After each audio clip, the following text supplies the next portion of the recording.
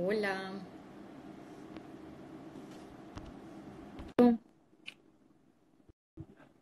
Hola, Fer.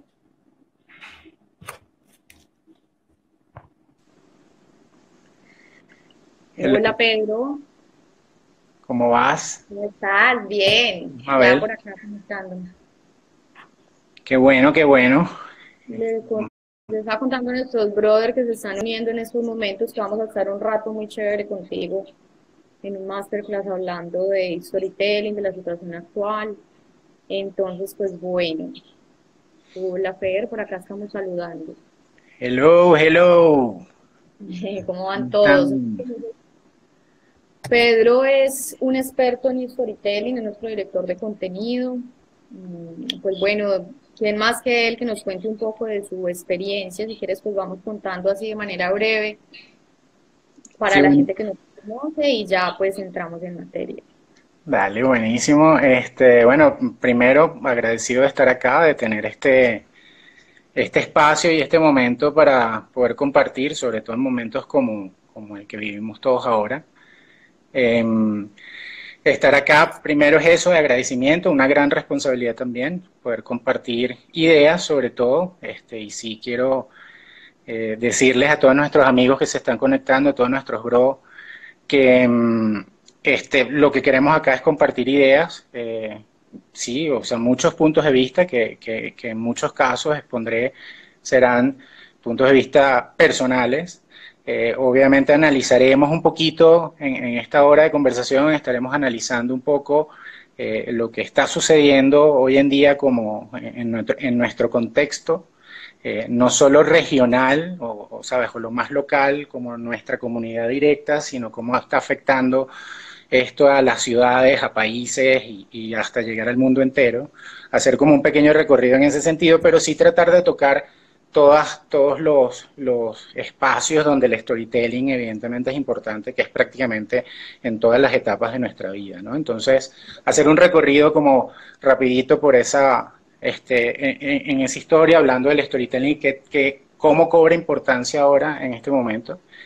Y bueno, también les digo a todos los, los que se van conectando y amigos que, que, se queden, que al final vamos a tener algunas buenas noticias también, no todo, no todo es tan negativo realmente como, como, como se pinta.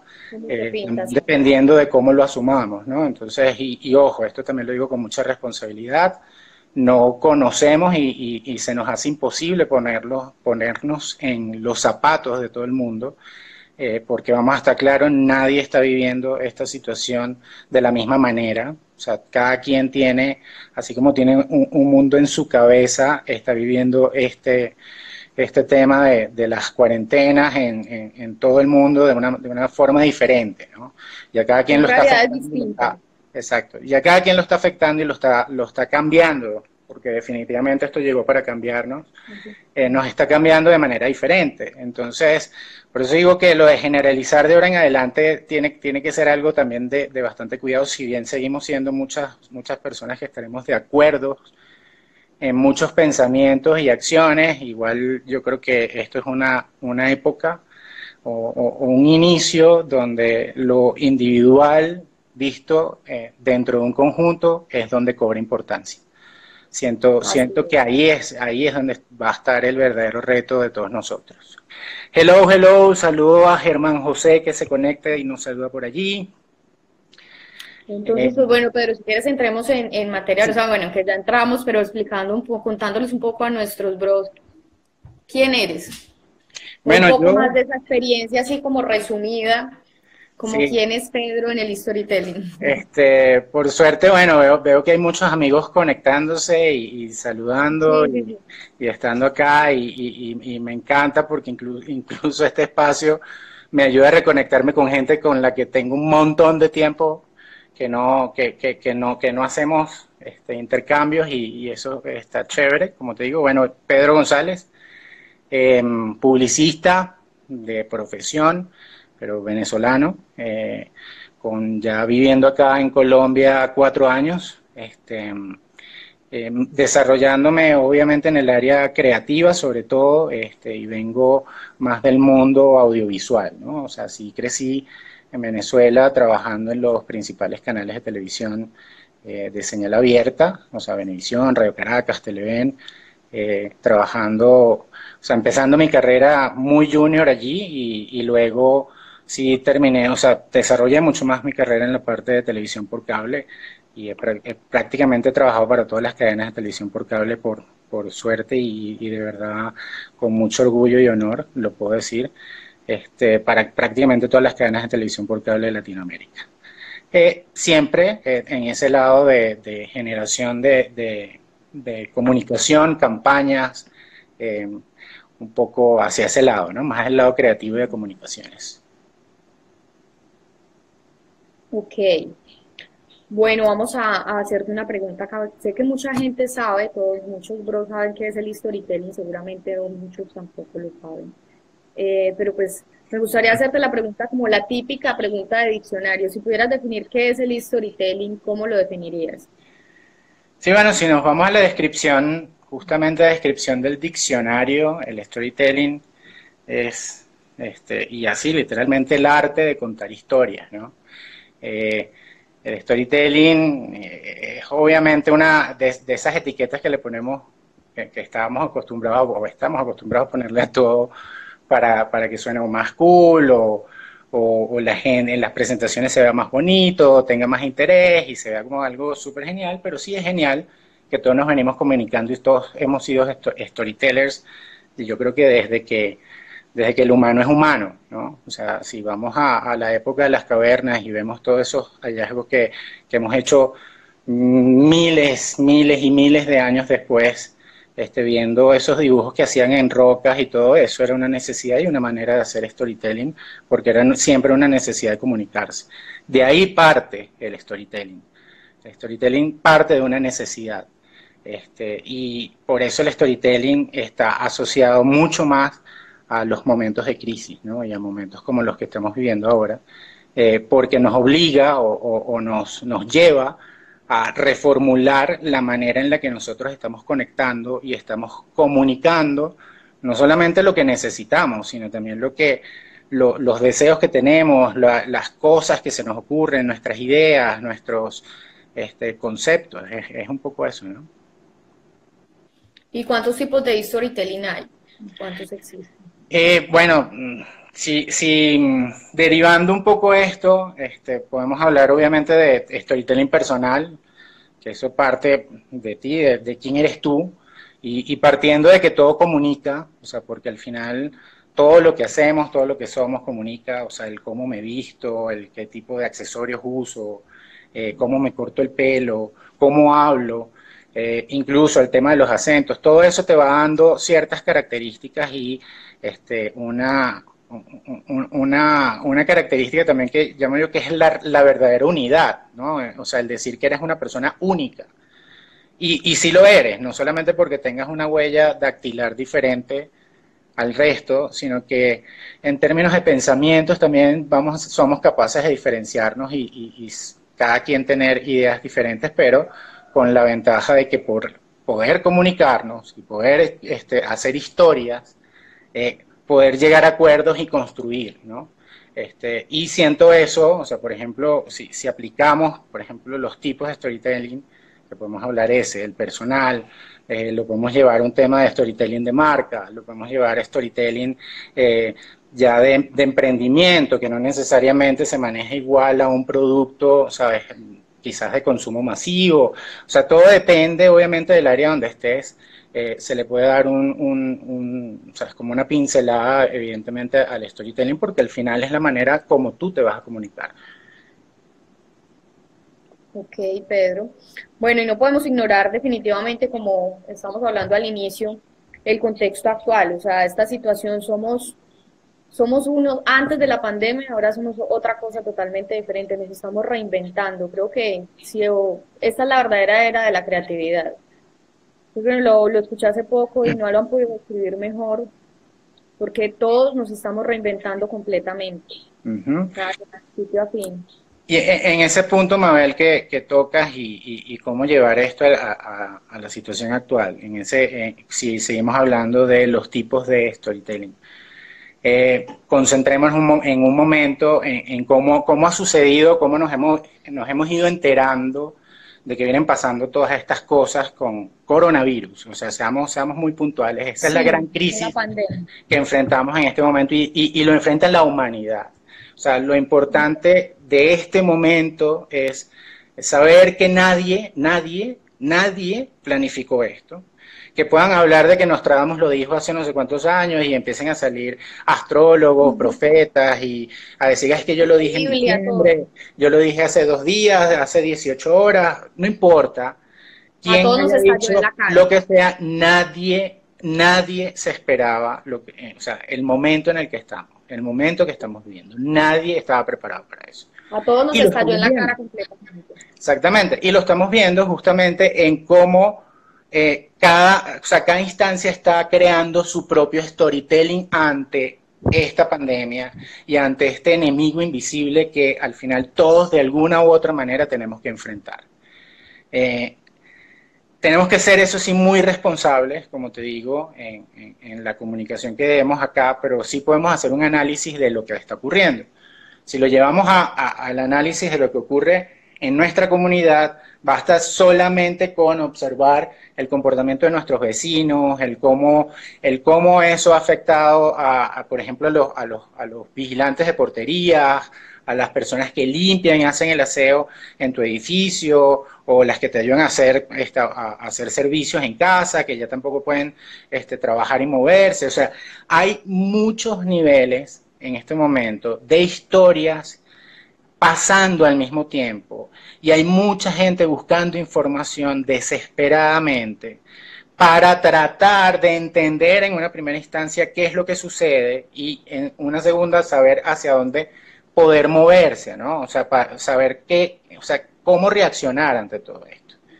Eh, vi hace, hace unas, o sea, y otra de las cosas que quiero, que quería hablar aquí con, con toda la gente que, que, nos acompaña, es que yo, yo les quiero o sea, hablar un poco acá de storytelling, pero les voy a dejar unos ejemplos que se los voy a, ir posteando luego acá en, las historias, en mis historias de Instagram, para que vayan viendo, son prácticamente todas son ejemplos de, posteos en, Instagram que este, un poco reflejan todo lo, todo lo que vamos a hablar y, hemos estado hablando hasta ahora también de, del storytelling, ¿no?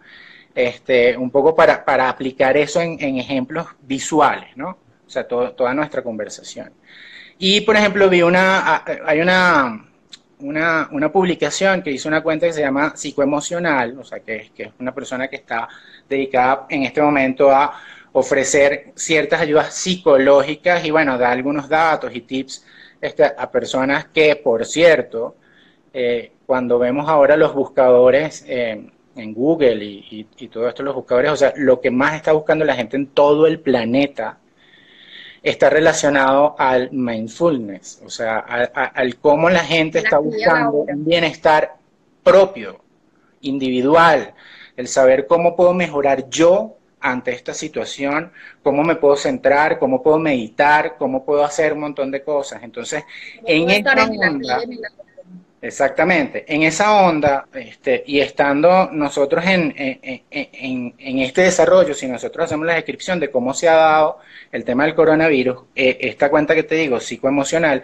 es una publicación muy buena donde presenta la curva, ¿no? De, cómo hemos ido nosotros, nos hemos ido enterando de lo que va sucediendo, ¿no? Entonces, lo primero ellos lo llaman la llamada, que es diciendo como, bueno, cuando nos enteramos el año pasado que es que apareció un virus nuevo en China apareció el nuevo virus en China, la reacción del mundo entero cuando hay una noticia como esa es otra vez los chinos, eso seguro que llegó un loco, un chino loco y se comió, se comió una cucaracha, algo se comió que el virus y entonces así y ahora se propaga y generalmente el mundo estaba acostumbrado a que eso, esos errores venían un poco así y se quedaban ahí, ¿no? Y, lejos además, o sea, nunca salía. Mucha gente, antes de esto que nos está pasando, estaba, estuvo realmente enterada de que en esos varios accidentes que hubo anteriormente de, de, algunos virus así, que no entremos en materia que si de dónde vienen o, de dónde no, eso ya no es lo que nos corresponde. Eh, pero sí, o sea, mucha gente no se había enterado que China sí tuvo que aplicar en, en, ciertos, o sea, en ciertas ocasiones los lockdowns de, de ciudades enteras para evitar justamente la propagación de un virus, ¿no? Eso, eso, no era, eso no era del conocimiento global. Hoy en día la gente empieza a enterarse un poco más de que esas cosas sí habían sucedido, pero se habían controlado de una manera diferente. Y que evidentemente los virus tenían este, capacidades diferentes en términos de tiempos de contagio, las personas cuando presentan o no presentan los síntomas, todo esto, ¿no? Que ya los médicos son los encargados de, y científicos encargados de decir cómo funciona eso. Eh, es muy importante eso. Luego viene la negación cuando nos enteramos, no, eso aquí no, no nos va a pasar. Eso aquí no eso nos está lejos. Sí, eso está muy lejos. O sea, es mejor eh, ignorarlo, decir, eso es un problema de los chinos, literalmente. Y eso pasaba antes, es como, no, eso, eso, eso está allá. Y está al otro lado del mundo, no me va a afectar. Claro, cuando empezamos a ver que sí, que esto ya es un tema mucho más real y que se está moviendo más rápido de lo normal, que ya hay alertas, que los chinos levantan la mano y dicen como, hey, ya el cuento no se nos hace familiar. ¿Por qué? Porque ya los chinos levantaron la mano y dijeron, no estamos, no estamos dominando esto. Y, y hey, ya va, que no lo están dominando. Se supone que ustedes tienen, que, tienen cómo hacerlo. Y yo creo que un punto de quiebre fue cuando salen en las noticias este tema de que los chinos están construyendo un hospital en 10 días para atacar el tema del virus. Cuando tú escuchas algo así, lo menos que se te puede ocurrir decir es, ah, wow, menos mal. Los chinos están haciendo eso en 10 días y nos vamos a salvar todos. No, es al contrario. O sea, tú dices, ya va, si los chinos están haciendo eso, ¿Qué se es porque, espera lo para que, ellos? es porque lo que está suelto no es, no es normal. No, no es una gripecita, ¿me entiendes? Entonces hay que empezar a verlo de una manera diferente. Sí, no hay que caer en el pánico. Hay un video también muy bueno que les voy a dejar por allí, este, que habla justamente del virus F. Eh, Es, es un, es un video que está en inglés, pero es el virus, el virus F-virus se llama, que es el fear, o sea, lo que ellos llaman el fear, el miedo. O sea, dicen que el peor virus que nos puede atacar, y yo estoy de acuerdo con, esa, con ese concepto, es el miedo, ¿no?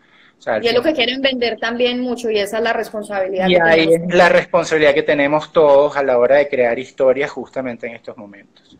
Eh, y bueno, justamente cuando ya viene esa parte del miedo, que ahí es donde, donde empiezas a paralizarte, a hacerle caso a todo lo que está apareciendo en absolutamente todos lados, lo, o sea, la, la prensa que está todo el tiempo buscando ratings, o sea, si tú buscas hoy los números, cómo ha elevado los números CNN en español, por ejemplo, para Latinoamérica, ha aumentado sus números en más de un 150% de rating diario. O sea, es una locura. Y evidentemente, ¿por qué? Porque la gente lo que está buscando es información. Pero a pesar de que está buscando información, los medios no necesariamente van a ser siempre la información más fiel, porque sí, ellos a lo mejor te van a decir, hey, para cualquier cosa, infórmense con la, con la Asociación Mundial de la Salud. Ok, pero al final ellos rellenan un espacio de un noticiero de tres horas con noticias que, wow, o sea, de verdad, eh, yo analizando, porque evidentemente es parte de mi trabajo, me toca hacerlo, eh, analizando las cosas que se están diciendo desde el storytelling político, que tiene un fin, evidentemente, y si vamos rapidito a un ejemplo local, lo podemos ver en cómo, cómo ha sido la relación ante, ante todo este tema de pandemia entre la alcaldía de Bogotá y el gobierno eh, nacional, ¿no? Donde la alcaldesa, que la respeto mucho, me parece que, que ha tenido muy buenas ideas y, y, y, cosas que, que ha, ha, traído a la mesa a tiempo, pero sí creo que la forma de su, de, de su storytelling y de su comunicación puede, puede generar confusiones y puede, y puede generar eh, eh, en, en, la gente, ojo, o sea, estoy hablando no, no de su entorno, porque quizás ellos muy claramente tienen, saben qué quieren hacer, pero La cuando se comunica hacia afuera, que, que es realmente lo, lo, que ellos, de lo que ellos son responsables, eh, la gente lo puede interpretar de una manera diferente. Y fíjate que ya en varias ocasiones, cuando esto ha ocurrido, que sale la alcaldesa a decir algo, pero el presidente había dicho otra cosa, y después al final es que dicen, no, es que sí estábamos de acuerdo, O sea, todo el mundo está en vilo. Entonces ya no sabes qué, bueno, pero le hago caso a la alcaldesa, pero sí, a mí me parece que la alcaldesa tiene razón, pero ya va, no estamos escuchando que el gobierno también está diciendo que hay que estar en acuerdo. Y ahí es donde tú dices como ya va, alguien tiene que tomar las riendas desde el lado político y gubernamental y asumir que esto es una tarea de todos, de todos los colombianos, de todas las personas que estamos acá y de todo el planeta, ya cada quien a su nivel, evidentemente, ¿no? Pero acá es eso, ¿no? Entonces, y, es un gran ejemplo de lo primero que tenemos que hacer es pensar en quién y a quién nos vamos a dirigir. O sea, hoy el storytelling lo que nos está pidiendo, o sea, y la gente, la audiencia, lo que nos está pidiendo a gritos es que volvamos a lo básico. El encierro, de hecho, por el que estamos pasando todos en este momento, nos invita a eso, de una manera natural. Es a decir, señores, hagan esta pausa y revisemos. Revisemos cómo los, qué estamos haciendo y cómo lo estamos haciendo. Y pensemos cómo podemos contribuir hacia afuera. Y en cierto modo hacia ahí, hacia ese lado es donde se tiene que mover el storytelling en este instante, o sea, ya a partir de ahora, moverse allí y evidentemente a futuro empezar a construir sobre esas nuevas bases unas bases donde este, todo el mundo realmente importe. Y, no estoy diciendo que es que si todos tienen que ser ricos o todos tienen que ser pobres o millones, no, no hablemos de clases, no hablemos de eso. No se trata de eso. No se trata de si la economía va a ser más fuerte o va a ser más débil en, un país o en el otro. Se trata de poder unirse, de poder crear, o sea, conceptos, historias, cosas que nos unan para poder contarlas juntos y no seguir en este tema de contar por separado, ¿no? Este, por eso es muy importante, como le digo, volver a, lo, a la base, al qué, a quién, importantísimo saber de ese quién hasta el contexto en el que está ese quién, que es nuestra audiencia. Este, el, el qué, qué le voy a decir, cómo se lo voy a decir y el por qué se lo quiero decir. ¿no? O sea, hay que pensar muy bien en eso y no caer en errores, porque hoy, por ejemplo, podemos caer muy fácil en un error de querer aprovechar la oportunidad que se está dando, donde hay muchas personas en audiencias, en medios críticos, con audiencias muy altas, a dar un mensaje que quizás no se entienda como, que, como queremos que se entienda. ¿no? Que en vez de ser una oportunidad, uno termina siendo un oportunista o termina siendo visto como un oportunista. Eso hay que cuidarlo muchísimo. Y lo tienen que cuidar sobre todo las marcas, ¿no? Y fíjate, tanto es así que, que, qué es lo que le está pasando a los famosos hoy en día como, como influencers, ¿no? Y estoy hablando de famosos actores. La, eh, la, crítica es muy, es muy grande, o sea, eh, y es muy grande es porque, y, por ahí fíjate que Carlos dice, es un momento para encontrarnos, y es exactamente eso. Es el momento de unir nuestros, nuestras habilidades este, para construir juntos. Y fíjate, poniéndote el ejemplo que te, que, te iba a dar de, la, de estas estrellas, este, que están recibiendo, o sea, la gente los está abandonando, ya no los está siguiendo en redes sociales o los están, les están escribiendo cosas que realmente no son muy positivas porque al final, o sea, sí, la gente está viviendo su, su, su cuarentena, cada quien de la manera que lo pueda vivir y que lo quiera vivir, unos muestran sus rutinas de ejercicio, los otros están, o sea, están haciendo, o sea, yo tengo un gran amigo, este, Leo, que, que es caricaturista, él es dibujante y él está haciendo en vivos todos los días en, en IG, este, enseñándole a la gente técnicas para, para dibujar. O sea, cada quien está aportando desde donde está lo que siente que puede dar. Y, es, yo, creo, yo creo que no hay mejor storytelling en este momento que ese, donde nos estamos abriendo y siendo nosotros mismos en un principio, haciendo lo que nos apasiona desde, desde el rincón más chiquito que podemos tener en nuestra casa porque dicen, bueno, nos están encerrando. Y al final no, no nos están encerrando, nos están diciendo, es, hey, wey, pausa. O sea, vamos a pararnos todos, sí, es un tema complicado, es un tema delicado porque hay mucha gente que está muriendo, ojo, y, y es el momento donde el storytelling tiene que hablar, y, en y esto es un consejo sobre todo para las personas que tienen agencias, que tienen pequeñas, o sea, negocios propios, emprendimientos, incluso las marcas, Eh, y marcas personales también. Eh, sí, marcas personales, pero sobre todo en, a ese nivel, porque bueno, en nuestra comunicación personal sí hay cosas que, que son diferentes, pero a ese nivel es muy importante empezar a comunicar desde la resiliencia, desde la capacidad que todos podemos tener de ver de este momento que creo que es el peor de todos, lo positivo, lo bueno, la verdadera oportunidad que tenemos. Y, y, en un principio no lo veamos como toda la humanidad tenemos, o sea, esta oportunidad. No, la oportunidad que tengo yo. Primero quiero yo ver cuál es mi oportunidad y cuando ya la tenga clara y sepa exactamente qué puedo hacer o cuántas cosas puedo aportar, ahí sí empezar a, decir, ok, ¿cómo llevo yo esto al resto? A que esto aporte, ayude, me ayude a crecer y lo que yo haga ayude a crecer a más personas. O sea, yo siento que hacia allá es hacia donde se tiene que mover mucho esto, o sea, desde la resiliencia y obviamente este, hacia la empatía, ¿no? O sea, al yo conectar contigo, pero de una manera real. Si ya veníamos en esa época, porque lo, bueno es que como este, como nuestro coronavirus nos está marcando en la vida un antes y un después literal, ya nadie, ya nadie puede decir, ah, un antes y un después, y un antes y un después. No, no, esto sí es un antes y un después. porque lo estamos viviendo, no lo estamos leyendo en un libro de historia.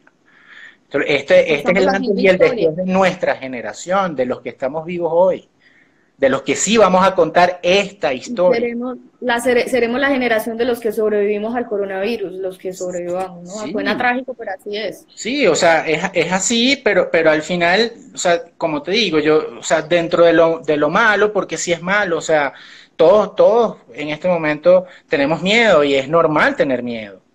Eh, lo que no, lo que siento es que el miedo, lo, lo, que no, lo que no podemos dejar es que el miedo no se apodere de nosotros en ninguna circunstancia.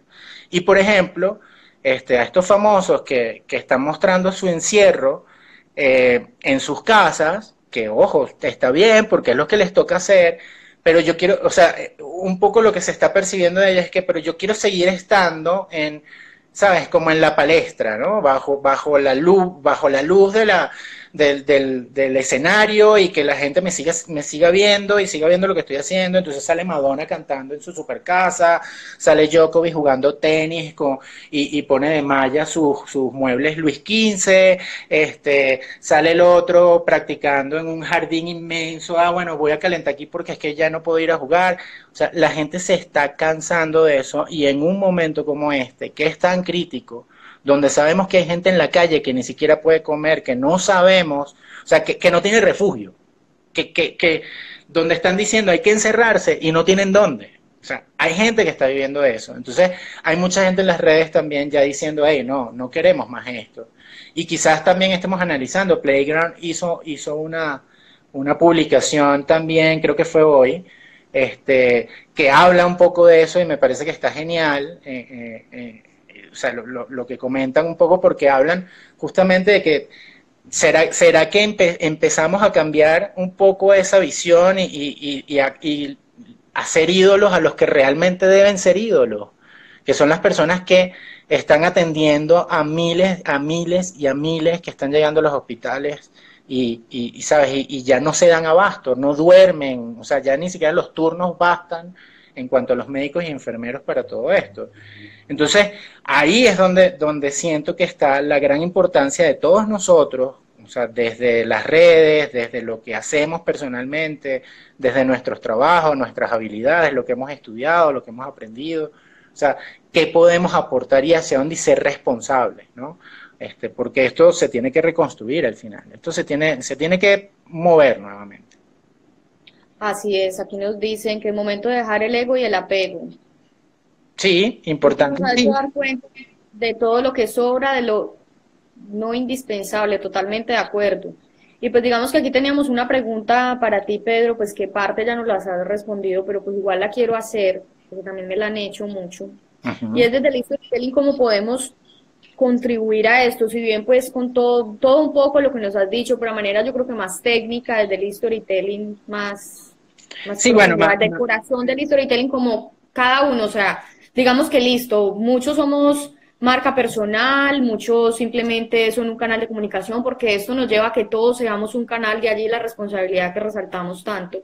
Pero ¿cómo puedo contribuir desde el storytelling como tal, ya en sí, a esto, o sea, como publicista, como comunicador, como diseñador, como fotógrafo, como todas las personas que estamos como, de mercadeo, como porque esto nos hace reinventarnos absolutamente a, todos, pero la responsabilidad creo que sí pesa un poco más en, nosotros los comunicadores y las personas que están e, enfrente, pues como de... bueno, sí, o sea, sí, sí, o sea, sí, este, estoy de acuerdo, estoy de acuerdo que sí, obviamente todos vamos a ser responsables y todos somos responsables ahora más que nunca de, hacer que todo, de, que, todo esto vuelva otra vez a la normalidad, que la normalidad ya no es lo que nosotros conocemos. lo que era normal, o sea, lo que es normal después de esto ya no, no, es, no es la normalidad. exacto, ya ni siquiera sabemos, ya ni siquiera, ya ni, o sea, hasta de eso nos tenemos que olvidar. O sea, e, es que ese es el tema. Hay, ahora sí, había muchas teorías budistas, eh, de religiosas o, ancestrales, energéticas, como las queramos llamar y cada quien como la viva, que decían un poco de eso, que, lo, que el ser humano lo que tenía que hacer era desaprender. para poder aprender. Para poder avanzar. Y, y, creo que como no internalizamos nunca eso, no lo interiorizamos, amor. la mano, yo también digo como, ajá, sí, pero ¿de qué estamos hablando? Porque es difícil entender, ¿no? O sea, y, y, cuando llega un momento como este, donde ya o sí o sí te tienes que encerrar, donde ya no tienes nada que buscar afuera, donde hay mucha gente que está perdiendo su trabajo, está perdiendo su empleo, que está obligado a estar ahora en su casa cuando estaba acostumbrado a salir todos los días a una oficina. Y que a muchos se les paró el ingreso también. Y que hay gente que sigue, que sigue trabajando y que está, y que tuvo que cambiar esa rutina. Este, todo eso, todo eso te comunica, Mabel. O sea, todo eso ya te dice y, y, ya te da una conciencia de que, hey, o sea, una vez que esto pase, obviamente no puedo ser el mismo. No vamos a ser los mismos. Porque nos vamos a enfrentar también a cosas que no conocíamos. Cada día que pase ahora, más allá de que nadie conoce el futuro, pero por lo menos, o sea, tú puedes hacer un plan. Cuando tú dices, ah, bueno, yo voy a hacer un plan, yo estoy trabajando acá y estoy ganando tanto, hago un plan de ahorro de tanto para comprarme una casa a tantos años. Y hay gente que lo logra y que lo hace y que, que bueno, que cool. Y, es lo, o sea, en, cierto modo uno se, se, uno creció un poco formado de esa manera, ¿no? De que, de que tú tienes que planificar tu futuro. ¿no? Hacia dónde caminas, ¿no? O sea, te puedes torcer quizá en el camino, pero luego tienes que volver a una vía. Ahora tenemos que reinventar todo eso, incluso eso lo tenemos que reinventar. ¿No? O sea, la manera de cómo nosotros educamos a nuestros, a nuestros niños de ahora en adelante. O sea, porque esto, esta generación de niños que están viviendo esto, o sea, van a ser, siento yo, ¿no? O sea, es algo también personal, opinión personal, pero siento yo que va a ser una generación de niños resilientes impresionante. Impresionante. Van a ser niños que van a tener la capacidad de entender la magnitud de un problema y saber que las reacciones emocionales que nos llevan a la histeria no va, no va a ser la solución a eso. O sea, yo he visto la reacción de niños a, todo, este, a todo este tema mucho más tranquilos y más centrados que muchísimos adultos, que incluso sus padres. Entonces ahí es donde tú, donde tú empiezas a ver también que hay un cambio, no solo generacional, sino es un cambio de pensamiento. Es un cambio de cómo yo percibo, cómo yo estoy abierto al mundo, cómo yo me borro los tabúes. ¿no? Y desde ahí es donde podemos empezar nosotros a construir historia. Hoy más que nunca, como les digo, siendo solidario, o sea, aquí es donde cobra muchísima más importancia la responsabilidad social. De eso también queríamos hablar. exactamente. Y, y, fíjate, al final todo nos lleva, ¿no? O sea, porque la responsabilidad social, este, hoy o sea, todo el mundo tiene que ser responsable socialmente. Ya, ya no hay escapatoria. Así como todo el mundo, también está comprobado, como todo el mundo tiene que pensar de alguna manera en digital, con, las excepciones que esto, que esto sigue, que, esto sigue generando a nivel de, de digo yo, de, de, estratos sociales y todo esto por el acceso que tienen unos o no, u otros no a las tecnologías. Pero esto incluso obliga a los gobiernos a que sean, a que sean más digitales también, pero que también asuman que tienen que ser más resilientes y tienen que ser más empáticos.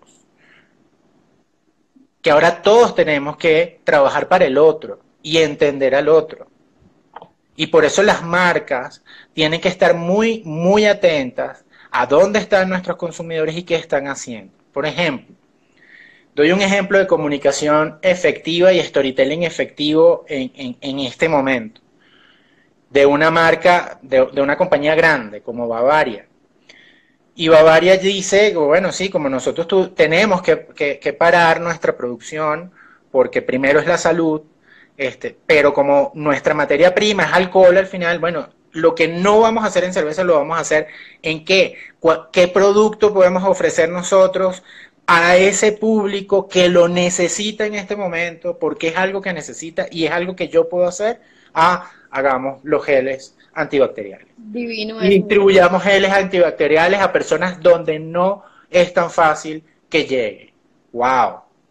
Ahí yo digo, me quito el sombrero y le doy toda o sea, lo replico, lo, se lo digo a todo el mundo. ¿Por qué? Porque esto es una marca que está demostrando que lo que de verdad le importa es su gente, es su público. Sí, el público que después que pase esto va a brindar con una cerveza de Bavaria, sea cual sea.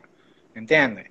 Pero lo va a hacer también porque y lo va a hacer por gusto. ¿Por qué? Porque vio que fue una marca y una empresa que salió a defender a los colombianos. claro, y esto es hacer marca. En un momento como este, más no salió solo a hacer marca. Justamente a eso, a eso, a, eso iba. o sea, este sin querer está haciendo marca, o sea, ellos lo hicieron con todo su corazón, creo que no. Y, es que no, no te creas, a lo mejor no, no, no lo hicieron sin querer, a lo mejor lo están haciendo queriendo. ¿Me entiendes? Pero, pues, Pero lo están haciendo bien, que es lo importante. Lo importante aquí es que es algo sesudo, no, no lo estás dejando a la casualidad, no. O sea, sino tú estás pensando, ¿por qué? Porque estás estudiando a tu audiencia, a tu gente, a tu consumidor, a esa persona que te compra todo el día. Y eso es entender la data. Por eso es que todos tenemos que ser digital ahora, porque hoy en día nuestra moneda más valiosa va a ser la data, o sea, lo que nosotros sepamos de la gente. Ese va a ser el verdadero dinero, ese va a ser el verdadero intercambio. ¿Por qué? Porque mientras yo pueda ofrecer un servicio que satisfaga cada vez más a ese cliente que es mi cliente, todos vamos a estar mejor, porque él va a estar bien y por ende yo voy a estar bien. ¿No? Y se trata de eso, de generar además lo que muchos llaman la cadena de favores o todo este tipo de cosas. Es, o sea, de verdad, es, es ser bueno y ya. O sea, ser bueno en lo que haces, que eso es lo más importante. De verdad, o sea, ser apasionado y, y, y, y quizás hasta, hasta, hasta un poco enfermo con el tema, o sea, con lo que tú sabes hacer y lo que sabes que del corazón es lo que te gusta y empezar a, ver cómo esa pieza de tu rompe, del gran rompecabezas encaja, porque tiene que encajar. Pero mira el reto, yo quiero aportar algo allí y mira el reto tan impresionante que tenemos y menciono la palabra reto mucho porque es un reto increíble. Y tampoco es para que entremos en pánico, pero mira el reto, o sea, tenemos, somos ahora más que nunca digitales, lo tenemos que hacer.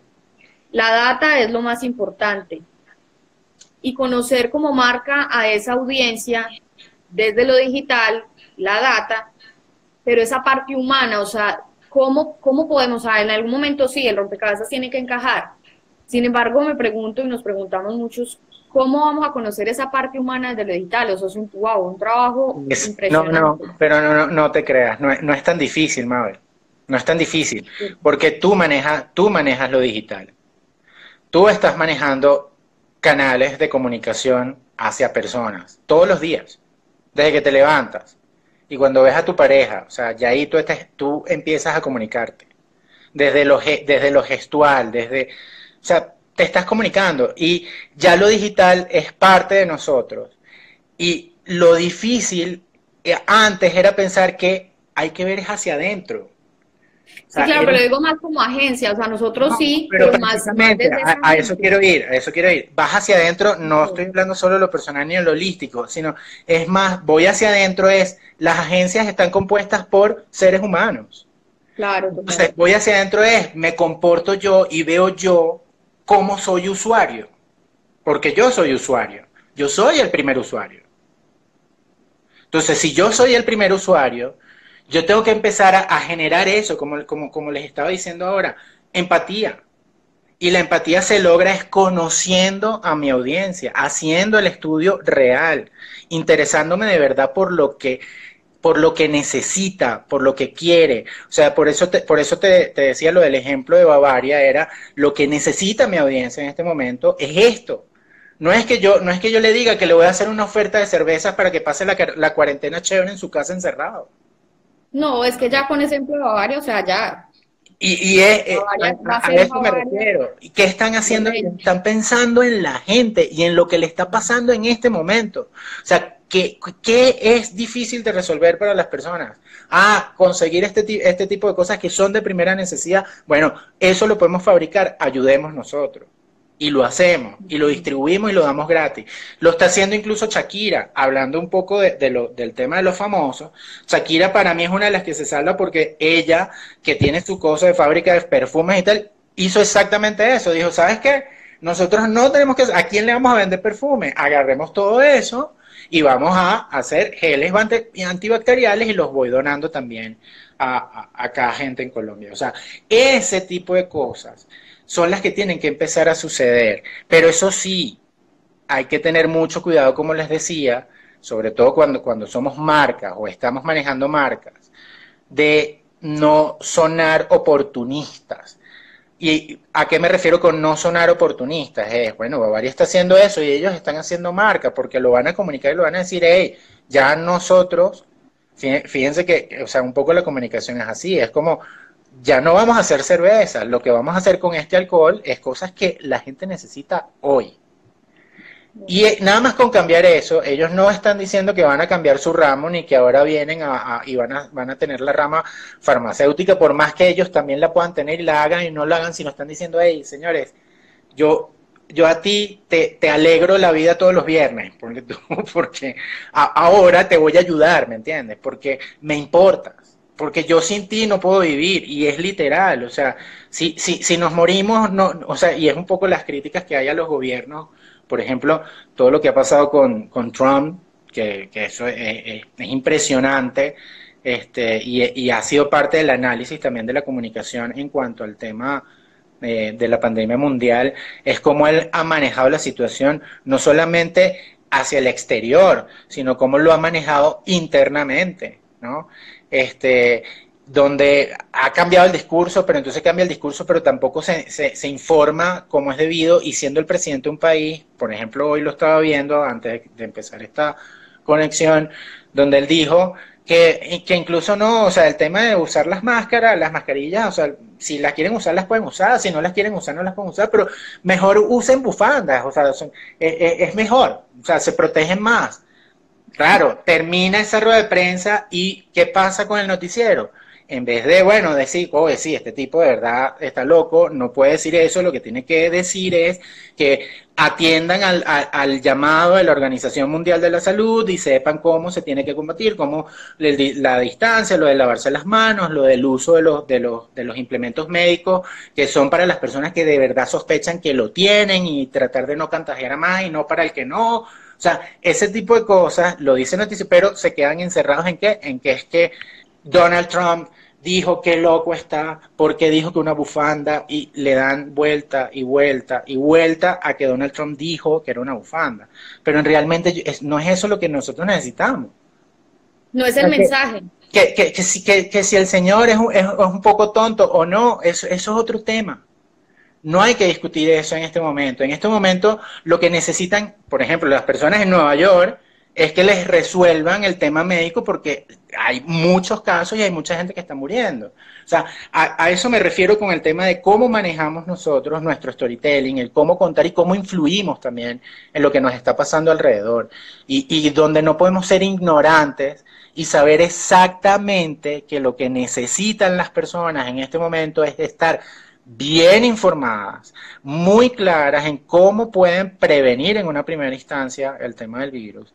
Y luego, poco a poco, ir siguiendo las instrucciones que tenga cada estado, porque además cada estado, dependiendo de donde tú estés viviendo este claustro, cada quien está viviendo también bajo unas leyes diferentes. O sea, hoy hablaba con, con uno de mis mejores amigos que, que, vive en Bruselas y él me dice, oye Pedro, o sea, yo, yo sé que, que en muchas partes del mundo, inclusive, o sea, incluyendo, perdón, eh, eh, Europa, habían ciudades que estaban cerradas, países que están cerrados, que no, que la gente no puede salir a la calle, y él me dice, bueno, yo acá aún en la zona donde estoy, puedo salir y él me decía, yo se lo atribuyo a que vivo en una zona donde hay mucho espacio abierto, o sea, él, tiene mucha, mucho bosque, mucha vegetación cerca. Y me decía que a pesar de eso, él veía que en esos parques, que son bosques grandes, lagos, no sé qué, había mucha gente, que la gente estaba, estaba aprovechando este momento donde sí, o sea, sí mandaron a la gente para sus casas, no están trabajando los, o sea, los bares, igual que acá, o sea, es un poco igual, están trabajando los automercados y, y las farmacias, eh, y él me decía, bueno, pero la gente está aprovechando un poco como, para pasar tiempo en familia, como para hacer actividad física, para hacer cosas totalmente diferentes, pero acatando normas, ¿no? O sea, él sí me dice, hey, pero si hay ya puesto en todos los parques eh, normas donde dicen que la gente tiene que estar a tanto de distancia, y él me dice, es impresionante que de verdad la gente, por lo menos en el área donde él vive, que él me dice que hay, sitios donde sí están encerrados totalmente, pero que en el área donde él vive la gente ha acatado como las cosas y tú ves como todo el mundo muy pendiente y tratando de cumplir con eso. Entonces ahí es donde tú dices, bueno, es importante el, distanciamiento social, no, ¿qué tanto? Por eso es que es el tema de las leyendas urbanas y el saber de dónde nosotros eh, eh, estamos recibiendo la información, porque en momentos como este, o sea, bueno, nosotros estamos haciendo este en vivo junto a 18 personas más que también están haciendo en vivo ahora en, Instagram. Eso no se veía antes de la pandemia. O, sea, hoy en día todo, todo va a cambiar. O sea, es, o sea, el coronavirus es nuestro jefe, es nuestro, nuestro captor, nos tiene, nos tiene secuestrado, nos tiene, nos está mandando. Nuestro maestro, no sabemos, no sabemos qué es lo que quiere y hacia dónde nos quiere llevar. Y quizás eso obviamente va a generar mucha ansiedad. Pero yo creo que al final concentrándonos, o sea, y aprovechando, tratando de ser lo más positivos, como les digo, resilientes y, empáticos en este momento, es la mejor fórmula y manera para poder superar, yo creo que cualquier crisis. Y, ojo, estemos claros también en algo, Latinoamérica es, es una zona de crisis eterna, o sea, que no habíamos vivido una de este tamaño, sí, es cierto, pero en crisis hemos estado siempre. Y, y, sabemos, nosotros, sobre todo, y acá en Colombia, o sea, sabemos lo que es este, salir y, buscar hacia lo positivo y remar y, y, cambiar y lavar la cara de las cosas, ¿no? Y eso, eso es parte de la historia, eso es parte de lo que, de lo que tenemos que contar y, y eso lo hacemos es haciendo que la gente nos importe, o sea, que realmente nos importe y seamos responsables de lo que estamos diciendo. Así es, otro ejemplo de eso también podría ser una marca Postobón que donó, en este caso, pues por lo que produce, no donó un producto bruto como tal, pero sí donó dinero, una cantidad muy importante para construir los respiradores artificiales.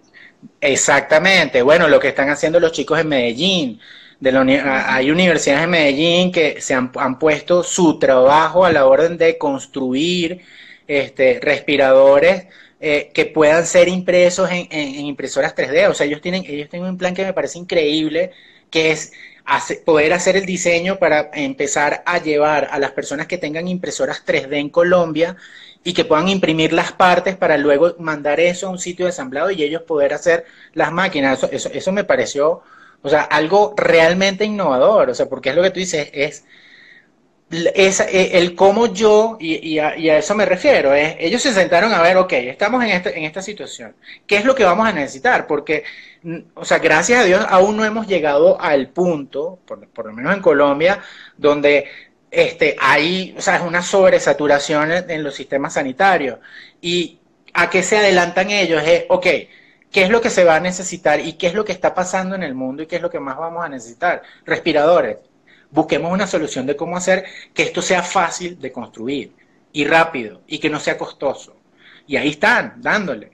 Entonces, ese tipo de iniciativas, ese tipo de historias son las que importan contar. Y ahí, por ejemplo, cualquier marca que se sume a la ayuda de ese tipo de proyectos, evidentemente que va a generar una confianza muy diferente a cualquier otra que se dedique solamente a, sacar mensajes como, ah, qué cool, qué lindo, o sea, muy emocionales, emotivos, donde todos estamos juntos, todos somos más. En este momento la gente no, no, no solamente necesita el tranquilo, todos vamos a estar bien, que sí, vamos a estar bien, pero necesitamos ver, hoy más que nunca necesitamos ver hechos, necesitamos este, que las personas dejen de hablar por hablar y de decir por decir y que nos empecemos a involucrar de verdad, de una manera mucho más real. Por eso, por eso hago tanto énfasis en la empatía y la resiliencia. El saber que esto es una situación muy difícil, pero que podemos juntos salir de ella y sí vamos a salir de ella, pero también a su vez este, ser empático, o sea, saber que tú estás conectando con gente, que tiene emociones, que tiene una vida, que lo más seguro es que sea diferente a la tuya, pero que tú puedas entender el, cómo puedes ayudar un poco y cómo desde lo que tú sabes y puedes dar, va, vas a hacer que alguien crezca también contigo. Así es, Pedro.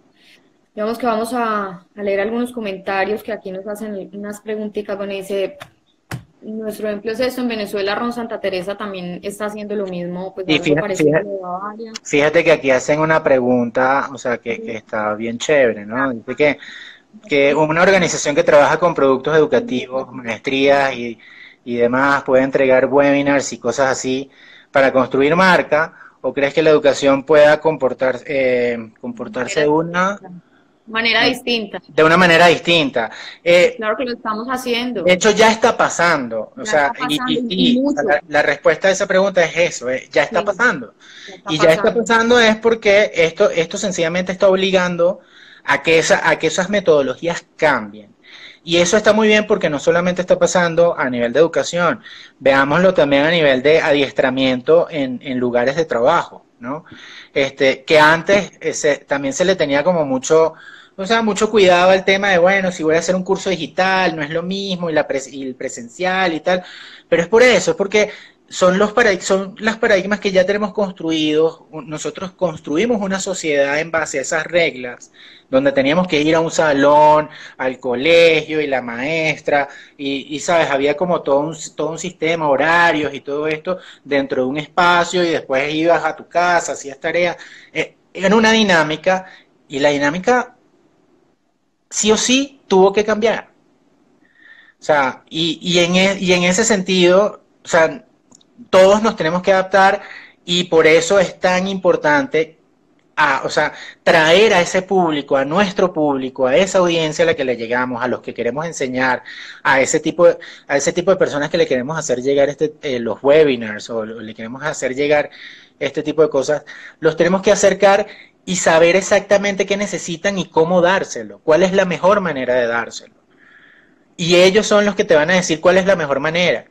¿Y por, ¿Y por qué? Porque al final la educación es una de las cosas que más se va a ver afectada ahora porque ya se venía afectando con, el tema digital, con los cambios digitales. Ya la gente, o sea, y, y, y, las generaciones que vienen ya no están tan convencidas que hacer una carrera de 5 o 6 años sea de verdad la vía para incorporarse a un mundo productivo y más allá de productivo, para realmente aprender las cosas, ¿no? Porque ya estamos, ya estábamos eh, un poco como, como no tan convencidos de que estos sistemas educativos sean lo que de verdad queremos. Y por eso nace una educación como la Montessori, hay, hay como diferentes vertientes ahora que han, que, han, que han tomado con mucho más auge con este parón. Créeme que hasta eso también va a cambiar.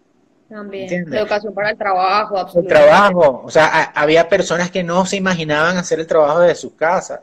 Y hoy en día, más bien, todas las empresas van a empezar a, hey, esto hay que repensar. Exactamente, porque ya la transformación digital no es solamente que yo esté en una, en una red social o que tenga una página web y que tenga este, la mejor agencia de inbound marketing y, y, tenga adiestrado a toda mi gente, sino también está el tema de, de, o sea, de espacios, ¿no? De, de, cómo yo hago que esas personas que están trabajando conmigo sean más efectivas, quizás de verdad en su casa, y te aseguro que hay compañías en este momento que están, que están rindiendo más que antes. Que tienen mucho más trabajo, y, y, no, digo, no digo más trabajo en términos de cantidades, sino trabajo de que han, han tenido que aplicar más pensamiento en cómo siguen moviendo la rueda y eso le, les ha, o sea, los ha obligado a adquirir nuevas eh, habilidades, eh, nuevas conexiones que antes no habían y que, y que de seguro van a ser mucho más rentables también a futuro. Eso también hay que pensarlo. Entonces, por eso estamos viviendo una etapa que más que darnos miedo, que insisto, está bien tener miedo, porque obviamente todos lo tenemos, yo, yo, o sea, hay cosas que a mí me, me dan pánico, pero, pero sí siento, y, creo que, que, que, ya debemos empezar a entrar todos en esta, en esta etapa donde, bueno, tenemos que ver, ok, sí, está mal, pero la única cosa que podemos tener todos a favor es que todos estamos igual. Todos estamos en este momento, todos estamos en ese mismo barco. Ahora sí, ahora sí, cuando uno dice, no, es que todos estamos, somos habitantes de la misma nave espacial, aquí está así, ahora sí literalmente porque esta es la primera vez, eh, por lo menos la historia viva de, nuestras generaciones, en la que un evento realmente afecta al planeta entero. Esta es la primera vez que... Y lo paraliza por completo. Hay cosas que aún ruedan, pero todo está a un 10% cuando mucho. Paralizamos el planeta. Y cuando vemos esas fotos de, de bahías, por ejemplo, lo, lo, que lo que pasa en Cartagena, o sea, a mí, a mí eso sí me parece una locura, que en menos, en menos de dos semanas ya lo, que, era gris, eh, o sea, se cristalizó. O sea, es un mensaje claro. Es un mensaje claro. Ahí hay un storytelling. La Tierra nos está diciendo algo. O a lo mejor no la Tierra, el coronavirus nos está diciendo algo. Esto es un mensaje muy claro el tema de, cómo animales están recuperando espacios o volviendo ciudades animales que no se veían hace 50 años, o sea, cosas así. Este, pero es por eso, eh, eh, yo, yo siento que hay que, ahora más que nunca, tenemos que estar atentos a todo lo que está sucediendo de una buena manera, no caer en estrés, este, no, no actuar desde, desde lo visceral y desde el miedo, sino, sino tratar de ser, como, como les digo, o sea, mirar, mirar a futuro y saber cómo, cómo podemos entre todos más bien aportar y, hacer crecer, ¿no? Así es, Pedro, muy bonito. Mira, por acá nos, nos comentan, es momento de reconstruir nuestra forma de ver y de ser en la vida y entender que si es posible ser más humano, es un gran aprendizaje todo esto es sensibilización de las personas, totalmente de acuerdo, reinventarse. sensibilización, de la, eh, sensibilización de las personas, absolutamente de acuerdo, pero también de, de, de, las marcas, ¿no? O sea, de, las marcas. De, las marcas e incluso las marcas. las marcas. Y, y, las marcas no solamente llevado a cómo se comunican hacia afuera y, y hacia su consumidor, sino también marcas y, y de las marcas hacia adentro. O sea, como, si, o sea, todo esto que estamos hablando, eh, si, si lo queremos llevar a, en términos personales, lo puedes adaptar a un término personal. Pero si lo quieres llevar a una marca, también lo puedes adaptar a una marca. Evidentemente le haces ajustes porque hay cosas que tienes que cambiar en, en temas de lenguaje, pero lo puedes llevar muy bien a marcas y desde la marca ser eso, ser una marca resiliente y una marca empática, que te importe tu gente, que te importe tu audiencia, eso es muy importante. Uy, eso de la marca resiliente empática está brutal. Nos dice Santiago, y los estudiantes están haciendo más tareas también.